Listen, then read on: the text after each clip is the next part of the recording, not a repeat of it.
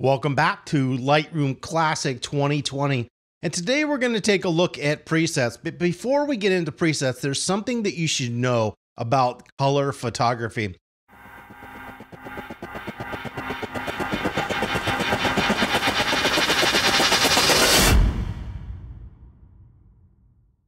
Let's assume that we've toned this color image and this is exactly how we want it to look. A perfectly toned color image does not translate into a perfectly toned black and white image.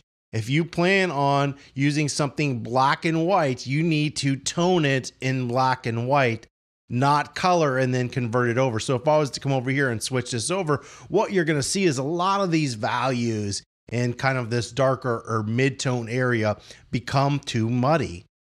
And when you're toning inside of black and white, you need to bring out your highlights and have a longer or wider tonal range than you do in color. So, one of the issues that you run into sometimes when using presets are presets are a general setting.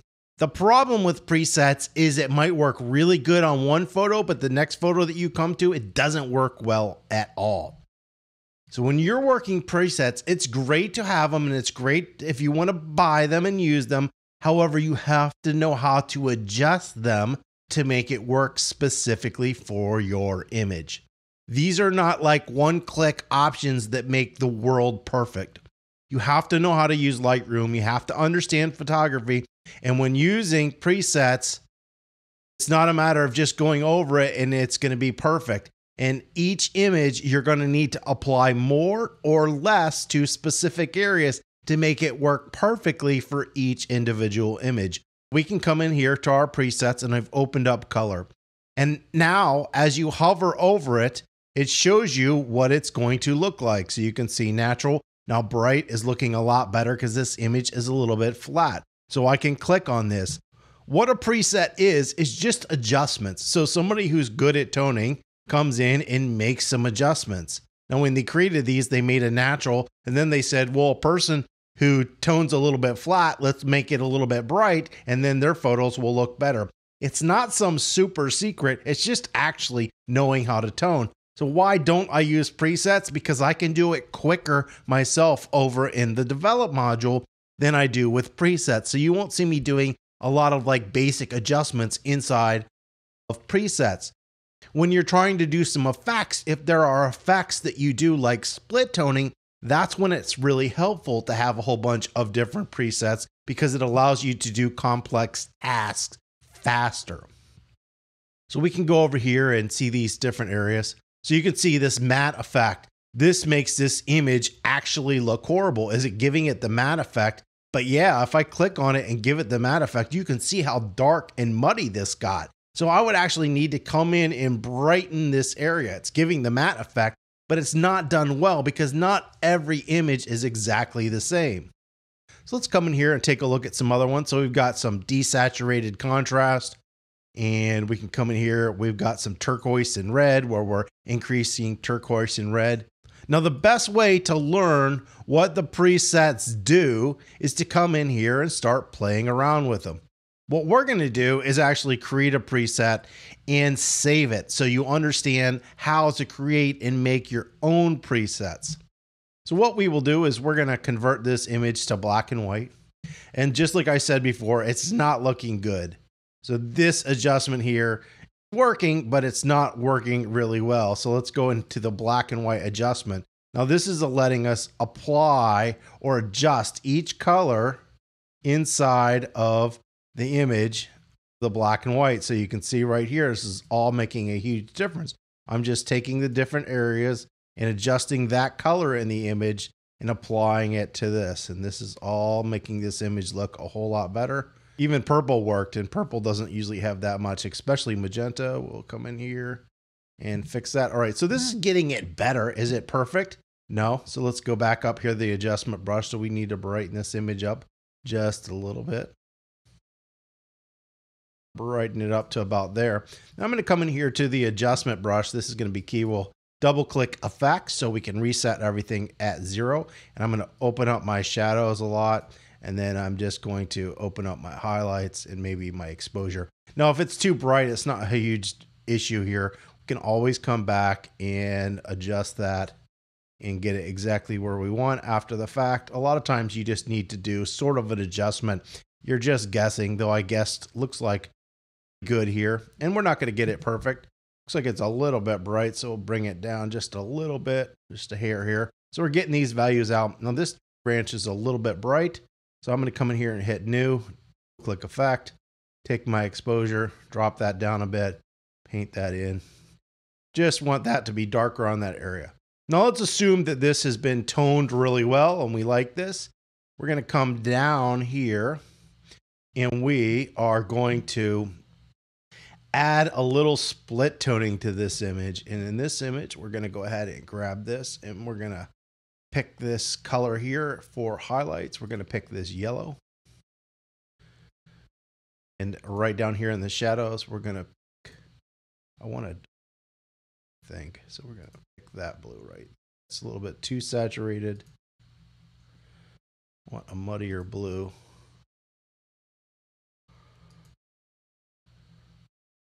Pretty good. We'll go with that one right there. We'll close that out. Now, remember, we can adjust or slide the slider so we can make the colors less intense. Take the saturation down just a little bit. You can also change the balance so you've got more of your shadows or more of your highlights in the image. We're going to do it so it's a little bit more of the shadow areas. And let's say this is a preset that I use all the time because I absolutely love this image. So what we can do is come up here to the presets and click the plus icon. We can hit create preset, import presets, or manage presets. So in this case, we want to create a preset. First thing we're going to do is we're going to give this a name and we're going to call this B and W blue yellow, split. And I want to put this inside its own group. So I'm going to come up here and hit new group. And I'm going to call this group my presets. Call it whatever you want, but this is just creating my own presets. Go ahead and hit that. So inside of my presets now, you're going to see a blue, you're going to see a black and white, blue, yellow split tone. And down here are the settings. Now, this is what I did to the image. And you need to come in here and select everything that you did. Do I want to just apply, in this case, it's set up for just noise reduction. I don't even have noise reduction. What things did I do to this image that I want to save in this preset?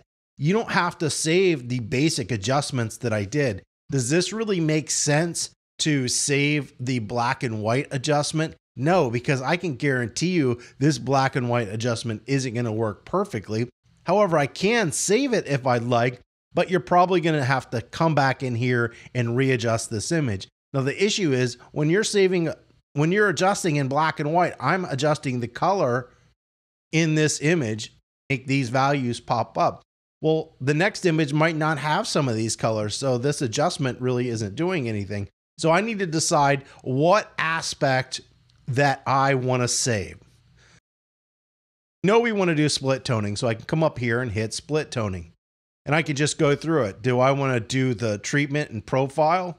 Do I want to do my basic adjustments?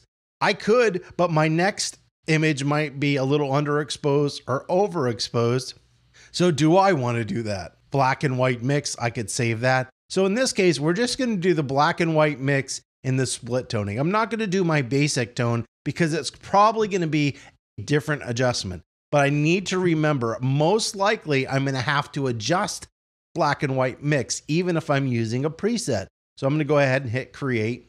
And what we'll do is we'll go to another image. So we're going to go to this image that we were working on before. And I'm going to go ahead and select that. But then I'm going to go over to my presets. And now we have my preset so we can open that. So the first thing that I'm going to need to do here for this preset is turn this to black and white. Now remember, this image hasn't been toned. I'm just hitting a preset. I converted this to black and white. What I want you to see here is this black and white image. Then I'm going to come over here and click this and it's going to do that conversion. So it's adding that black and white mix and that split tone. The issue here is that this image hasn't been toned, so it's really dark here, and this is overall going to be too muddy. Now, when you see something on the screen, it's always going to look better than when printed. When you print, it dumbs down. It can't hold the same tonal values that most computer screens can show you. So, where I've done a preset and it's done an effect, it is important to remember that you have to tone the image before you apply a preset that doesn't have like basic toning. Now, I could come up here and try to apply some basic toning to it. I can go to the black and white and I can say, give it a, some adjustment. But the problem with these presets is most of these presets are what called global adjustments, meaning they apply something everywhere. The problem here is most photography is actually a selective adjustment. So you're going to click on the adjustment brush and apply adjustments to specific areas. They aren't global adjustments. Just because you use presets, remember, you need to tone your image and keep your presets simple to make them more effective as you tone images in Lightroom. Hopefully, this has been helpful. If you have any comments or questions, you can leave those below. And as always, don't forget to subscribe.